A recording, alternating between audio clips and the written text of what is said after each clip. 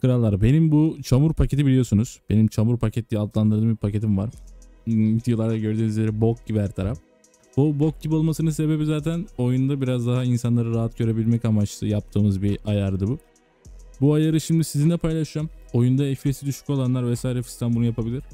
E, daha rahat adam görürsünüz. Daha e, iyi bir optimizasyon sağlar size. Çok fazla dropçuklar yiyorsanız bu dropçukları bir nebze engeller. Onun dışında yapacak zaten bir şeyiniz yok. Hızlıca gösteriyorum. Ondan sonrasında zaten oyun içi ayarlarımı göstereceğim. Başka da bir şey yok.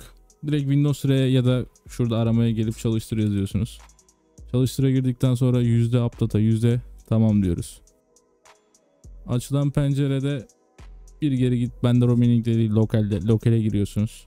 Lokalden Squad Game'i buluyorsunuz. Squad Game save it.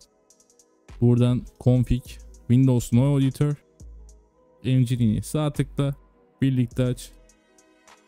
Not defteri. Bu kadar basit. Açtınız sizde zaten burası böyle boş şekilde gözükecektir. Cover sistem olarak yazacak.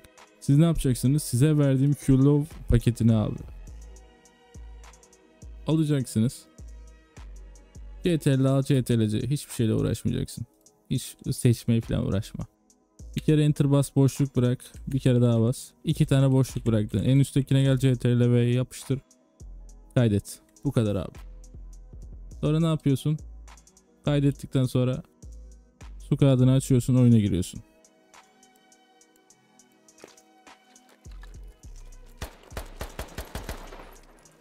Beyler görüyorsunuz zaten şu kısımlarda yerlerin biraz daha açık olmasını, ne kadar rahat araların görülebileceğini. Yani her bok de- değişiyor değişim. Bunu kullandığınızda adam görme ihtimaliniz olsun, FPS'inizdeki o rahatlama falan bir şekilde e, fark edilebilir olacak. Böyle zaten biraz gezdiğimde anlayacaksınız.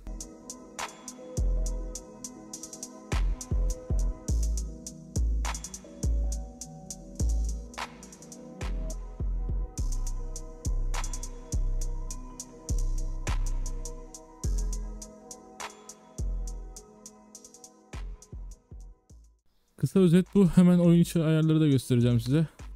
Hidden settings, grafik. Burası size kalmış. İstediğinizi yapabilirsiniz burada. Düşürürseniz evet FPS artar mı artar ama görüntü çok kötü olur. 1920'den aşağı oynamanızı tavsiye etmiyorum abi. Ha, bu oyunda 4-3 falan filan bu oyun 5M Valorant falan filan değil kanka yani 4-3 ne amına bok gibi. Adam göremezsiniz. Uzağa göremezsiniz. Yakında eyvallah ama bu oyun uzağa da görmek gerektiren bir oyun. Onun dışında görüntü kalitesini direkt özel yapıp bunu InScopes'a çekin. AI'ye sakın getirmeyin. Bulanık olur. Bu Enable AI Anti-Aliasing'i kapatın abi. Bunu kullanmak istiyorsanız kullanın. Ben kullanmıyorum. Çok da umurumda değil dayı. Şöyle duruyorum. Hızlıca şunları yap geçir kendine. Hadi. Yani şöyle düşünün şu an ben size ne yapıyorum abi?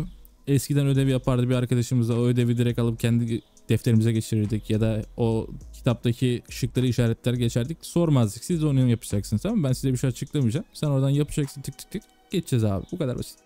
Neden açıklamıyorum? Üşeniyorum. Teşekkürler. Böyle aşağı indim.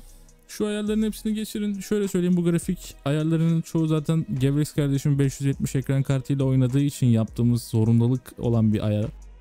Ya Burada düşük FPS alsanız dahi en azından optimizasyonu biraz daha optimum düzeye çıkardığımız için o küçük dropçuklar ya da büyük drop yiyip de oyunun ortasında kalmalarınız en aza inecek. Bunu çok yaşıyorsanız bu tamamen size göre. Yapmışsınızdır diye tahmin ediyorum. Başka da zaten yapacağımız bir ayar yok. Ondan sonrasında gördüğünüz ayarlarla oyununuzu oynayıp daha az shadow'la, daha az partikülle ve daha rahat görebileceğiniz özellikle forest maplerinde, orman maplerinde daha aralıklı ağaç dalları oluyor. Mesela şu ağacın dalların aralığından daha rahat insan görebiliyorsunuz. Buraya saklananları vesaire. Olay bu kadar. Uzatmayı sevmiyorum. Kısa kalsın. Sizi seviyorum. Kendinize iyi bakın.